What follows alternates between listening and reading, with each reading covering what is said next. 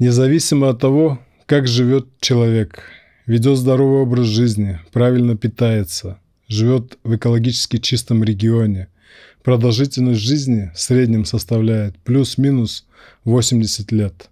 Вас не удивляет, почему так? В общем потоке времени это даже не песчинка в море песка.